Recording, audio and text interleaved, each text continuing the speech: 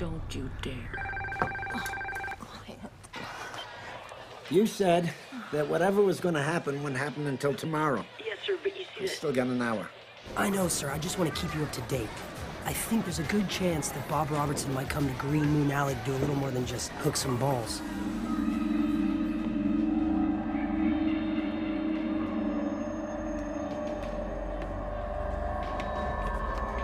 Maybe you want to send a guy out here to, you know, keep an eye out? Any of those bodach things around? Bodachs. No, sir, but they will show up when he does. Yeah, yeah. All right, I'll send a guy right over.